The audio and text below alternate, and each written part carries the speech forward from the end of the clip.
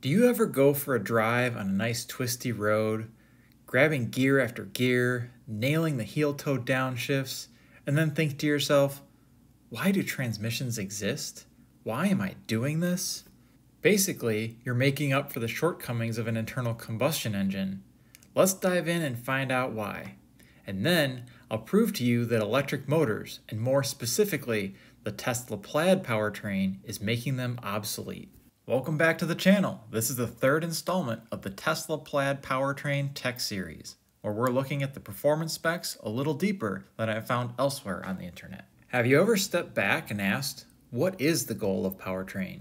It most simply can be described as a device that applies force to a vehicle that enables it to accelerate. There's lots of ways to apply force to a vehicle an internal combustion engine, electric motor, human power, a steam engine, horses, jet engine, rocket thrusters, and many more. For the sake of this video, we'll hold off on the rocket thruster discussion, although it may make some fun future content, and we'll focus on the internal combustion engine and electric motors.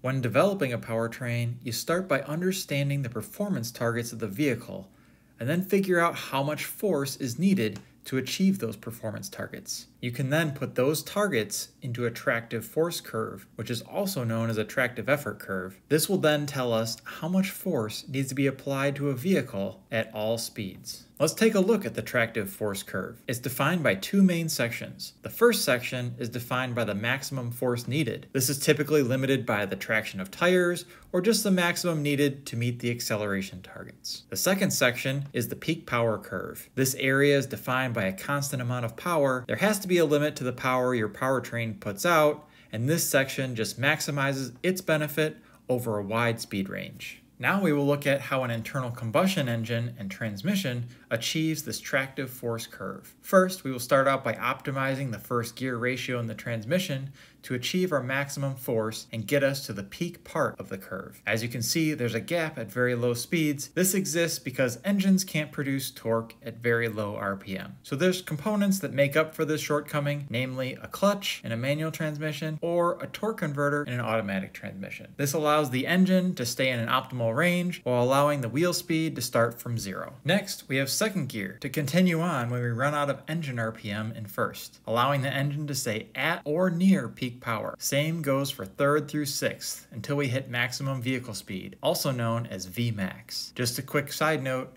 gears above 5 or 6 typically are used for optimizing fuel economy rather than maximizing force to the wheels, so we won't be talking about those today. Let's take a step back and look at a torque curve of an internal combustion engine. For this example, I'm going to be using the Audi 3.0 TFSI, a turbo V6 with 354 horsepower and 500 newton meters of torque. It's also mated to an 8-speed transmission. This Audi engine has a nice wide torque curve starting from a relatively low RPM and a 6,500 RPM redline. This represents a good example of a modern turbo engine, but in the end, you will see it doesn't matter what engine I'm using. Now let's compare to a single electric motor from the Plaid. The Tesla has a 470 newton meter peak torque, just slightly lower than the Audi. However, the Plaid motor achieves this peak torque from nearly 0 RPM and goes all the way up to 20,000 RPM, maybe a little more, all while maintaining peak power.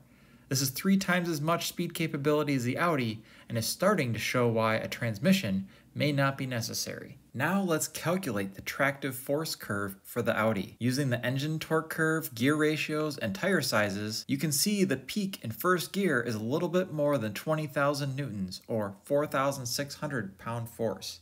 Then it follows the peak power curve at 354 horsepower, all the way out to the Vmax of 155 miles an hour. Then we will calculate the curve for the single plaid motor with the factory 7.5 to 1 gear ratio. See it achieves peak tractive force of around 10,000 newtons, but continues holding peak power all the way up to 200 miles per hour, and maybe more. With this setup, it would be roughly equivalent to the performance of the Audi starting in third gear, but continues well past the Audi's top speed. But what if we could change the gear ratio with the plaid motor to achieve the same 155 mile per hour Vmax. For this first calculation, we will use 20,000 RPM max motor speed. So solving for the gear ratio gives us 10.63 to 1. It bumps the peak tractive force up to 14,000 newtons and now makes the single plaid motor equivalent to a turbo V6 from second gear all the way to top speed. Also notice that in the peak power part of the curve, this ratio change has no effect. This is due to the incredible power curve of the plaid motor. If we take this one step further, what if the plaid motor can spin to 25,000 RPM? Purely hypothetical at this moment, but not out of the realm of possibility. This would allow us to increase the gear ratio to 13.29 and increase peak tractive force to nearly 18,000 newtons. This would mean a single electric motor and simple reduction gear gear can compete with a turbo V6 and its multi-speed transmission over its full operating range.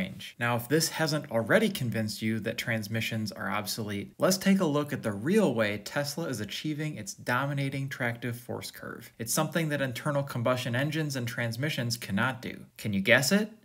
Should be obvious by now. They add more motors. I know this doesn't come as a surprise, but look how adding a second motor improves the peak tractive force, but also adds more power at the same time, increasing the tractive force at higher vehicle speeds as well. Then adding a third motor further increases its peak tractive force to over 30,000 newtons, which is over 6,700 pound force of thrust pushing the car off the line. Tesla's plan of improving the torque, power, and speed range of the electric motor and just adding more motors instead of adding a transmission is a great strategy. It's one that many automotive OEMs will likely copy in the future. Thanks for watching. This is a relatively new channel, so I'd greatly appreciate if you give this a thumbs up and comment down below.